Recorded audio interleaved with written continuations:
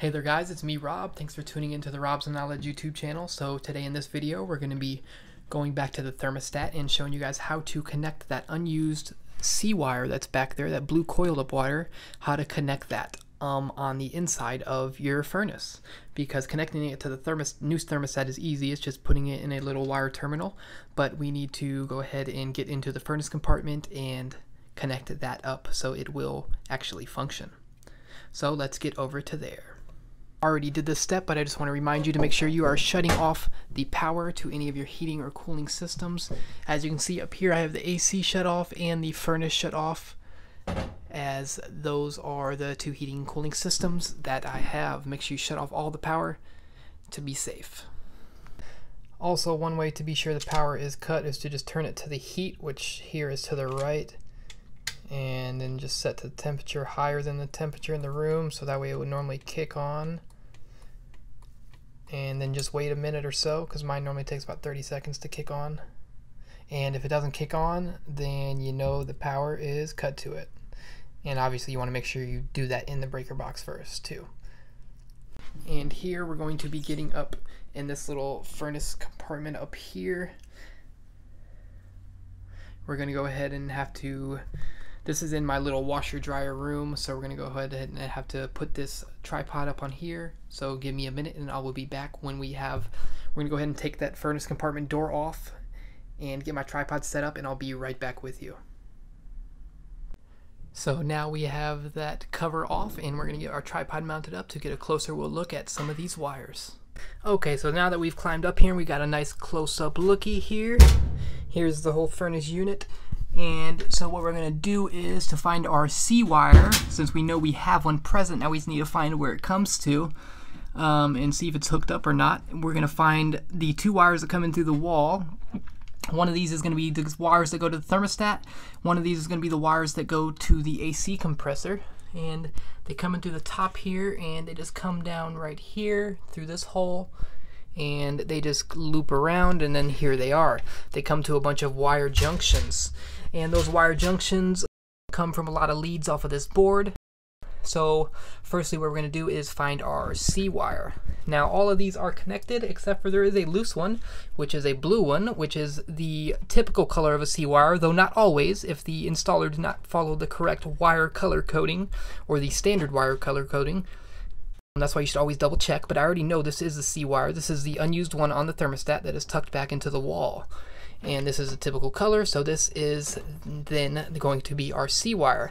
So they just have it wrapped up unused around the other, you know, the big cable, which is fine. We're going to unwrap that, and we're just going to go ahead and get that stripped. I need to go grab my wire strippers, so I will do that now. Okay, my camera died for a second, but I got it stripped here. And what we're going to do, now normally on most things that I've seen, you would typically connect this C wire to the C terminal on the board, on the control board on, in the furnace. But the C terminal here is already taken up. And one of these junctions actually comes off that C connection. So what I found out you can do is just put that in with one of these junctions. You just have to find out what is the correct junction. So I'm going to tell you how I found that.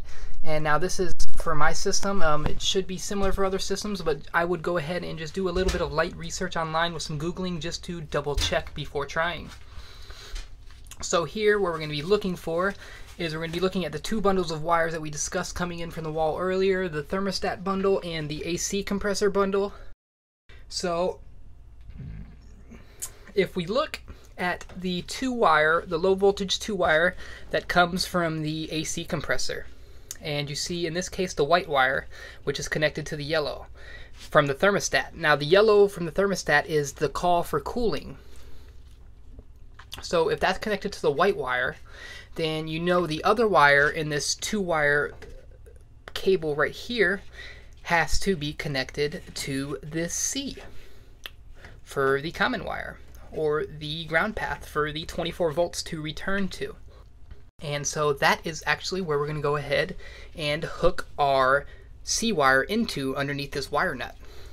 So again, with all power off and everything,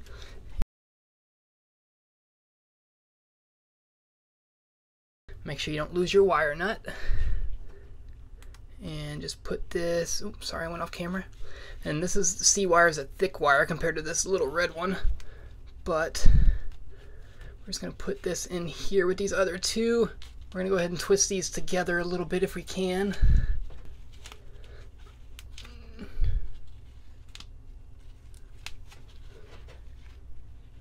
Just like so. And then just go ahead and put your wire nut on there nice and snug. Make sure it's a good connection. And you're good to go. Uh, go ahead and seal all your wires back into your furnace and I'm to go ahead and put this cover back on and then you're good to go to go ahead and start installing the thermostat. And that's all we're to show you in this video. But if you want to see the thermostat install video or how to locate if you have a C-wire in the first place. All those videos are down in the description below. They'll also be in the top right in the info cards and also on the end screens on screen now. If this helps you out, guys, please, please, please smack that thumbs up button. It helps out the video so much. It helps out my channel so much. Thanks for watching, guys. I'll see you in the next video. Peace out.